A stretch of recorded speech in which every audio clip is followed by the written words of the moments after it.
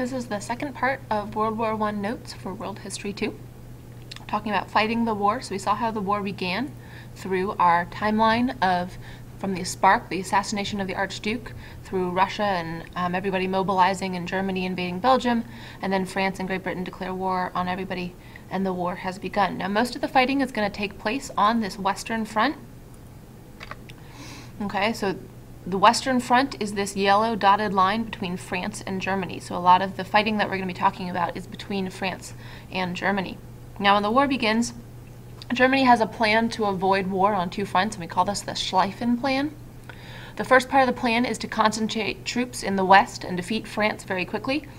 So down here at number one, they're going to focus on invading France. They're going to run through Belgium and get to Paris, which is up here in France above the sea. And then uh, once they've defeated France, then they rush troops over to the two over here in Russia and fight Russia. Now the thought is that France is going to be mobilizing much faster than Russia because Russia is kind of still a backward nation at this time period. And so they can defeat France by the time that Russia mobilizes, then they'll still be able to defeat Russia over on the far side. So they think this is going to be a very quick war. So in the start, the Germans attack France, starting the Schlieffen Plan, and they almost reach Paris. You can see on the map here this Paris, and this line is how far they get, this yellow line, going through Belgium. However, the Allies, the British and the French, are going to regroup and counterattack the Germans and push them back to this green line, okay, still in French territory, but not quite as close to Paris as it had been and this destroys the Schlieffen Plan. And from here, we're going to see trench warfare develop, and the troops are going to basically sit in trenches and fight between trenches for three years. Okay, we're going to have battles at Ypres. Up here, we're going to have a battle of the Somme down here. We're going to have battles at Reims and Verdun, all of the places like that until the Americans eventually arrive. So the Schlieffen Plan is destroyed and trench warfare develops. Now, trench warfare is where you dig trenches on either side of the battlefield. You fight between the trenches over yards rather than miles. It used to be that you would fight and the, um, the army would win and they could move a couple miles and gain territory. It's not happening in trench warfare, and it's a really miserable life. So this picture shows one side of the trenches. So let's say the British side of the trenches and over here, and then the German side would be on the other side of no man's land. Okay, no man's land has barbed wire and landmines and things like that in it. The front line trench is up here, and then there are communications trenches running back to the support trenches and the reserve trenches, all the way back um, until artillery cannot hit. So the how you fight a battle with trench warfare is your artillery starts and you bomb the other side with your big guns like cannons, the new kinds of cannons, and you hope that your bombs are going to kill the majority of the troops on the other side. And then you stop the artillery and your soldiers crawl out of the trenches and it's called going over the top. And when they crawl out of the trenches, then they cross no man's land and they try and take and attack the trench on the other side and kill everybody else who is in it hoping that you can then gain that trench and push people back even further, which means new trenches are developed. Now, trenches are developed because of our new weapons, like machine guns, where it used to be that you had an army facing another army, and they both had the same rifles, and whoever, you know, shot the most and killed the most amount of people was the winner, and whoever lost the most amount of people was the loser. Now with machine guns, we can't fight like that anymore because machine guns can just mow down the other side and ki basically kill everybody. And so trench warfare develops from that. Um, here's an aerial view of the trenches, like from the sky. So let's say this is the German side. Over here, the front line Germans. Then we have no man's land in the middle, and then this would be like the British and French trench over here.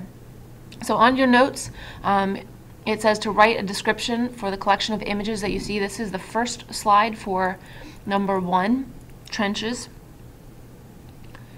So take a second and write, stop the video, and write a description of what you see in the trenches. This is going to be um, still part of the same trenches, what do you notice about the trenches? Are they crowded? Are they open? Okay, you can see people sleeping here. Maybe someone has died after a battle. He's up on guard duty, sentry duty. He's working as a sniper. Okay, they're not always straight lines in the trenches. Notice how deep they are. Notice how they've carved spots out. They've reinforced the sides. Okay, so this is not a straight trench, so that way if the enemy comes over to one side, they can't just shoot down the trench and kill everybody in it. They have to actually move through the trench. For number two, life in the trenches.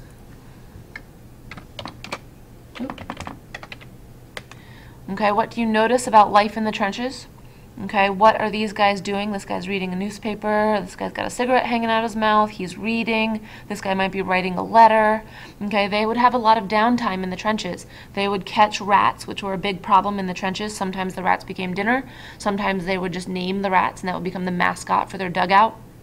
They would dig out areas of the trench and reinforce the top so that way when the artillery is bombing, they're not going to get hit. This is still life in the trenches. When it rains, you're going to have trenches flooding. And this nasty picture shows trench foot, which is what happens when your when your feet stay wet for an extended period of time, like a week or two. Um, your skin essentially dies and you get bacterial infections and it ends up looking like this. And normally the only way to solve this is amputation. If you download the PowerPoint and click on the YouTube link, the picture, um, it'll take you to a video about the first Christmas and how they end up having an armistice where they stop the war for the night and they end up, um, the Germans and the British both climb out of the trenches and meet in no man's land and um, celebrate Christmas together. And then the next day they go back into the trenches and they start fighting again. For number three, trench warfare and the new weapons, we have new weapons like uh, machine guns here. These guys are wearing gas masks because of poison gas. You can see the bombs exploding over here. This is where the soldiers are going up and over the top. We're also going to have new weapons like tanks. This is the first war where we see tanks. We're going to have new weapons like submarines. This is the first time we see submarines actually engaged in warfare. We had developed submarines previously. There was one in the Civil War um, but they had never really been used for warfare. We also start to see airplanes used in warfare. For World War I, they're normally used for reconnaissance or intelligence gathering to see where the enemy troops are. Um, but eventually they figure out how to put bombs in the airplanes and drop bombs on other areas. And then lastly, I would like you to look at the effect of the trenches on areas. This used to be a forest and then it became no man's land between two trenches. Okay, you can see what happened to the forest from all of the bombs. Think about pretty, pretty farmland where it's all flat and you can plow it easily. Well, this is what farmland looks like after it had been no man's land or after it had been bombed. This is in France today. In France today, not working out well. The trenches are still there in France, a lot of them. Okay, so you can go walk through them and see what the dugouts look like. And then in class, what we did was we paused for a minute with notes and we looked at the Battle of the Somme, one of the most famous battles um, in 1916 between the British and the Germans, and how the British are able to um, eventually, over a couple months, push back the German defenses towards this dotted line. And um, are able to use the railroad tracks and fight in the style. However, there are about a million people who are casualties, dead and wounded, from this battle. So that's on the Western Front. On the Eastern Front, the Germans and the Austrians are fighting the Russians and the Serbs. Okay, so we're talking about the front that is over between Germany and Russia and Austria, this line over here. It's a very indecisive war. It's a very mobile war. They're not fighting in trenches over here. Um, there's, it's very similar to how it used to be with lots of movement between areas. Um, you can see all of the area, all of the arrows and how much movement there was. However, Russia starts running out of supplies, and eventually they're going to end up dropping out of the war in 1917 because of the communist revolution that happens, where they overthrow the Tsar and kill him and his family, um, and the Bolsheviks take over. And we'll talk back talk about this in our next unit um, with the interwar period. If you have a minute, um, take a second to go to um, a World War I overview this YouTube video. It will show um, on the map how much movement there was between the Eastern Front and the Western Front, and also the fighting that happened down in the Ottoman Empire and Turkey in the Middle East. And then this trench warfare link is an actual game. Um, see if you can survive fighting trench warfare um, and learn about daily life. I played it three times and died every single time, so see if you can beat me. And then lastly, Um, I just want to show you kind of what's happened so far in the war.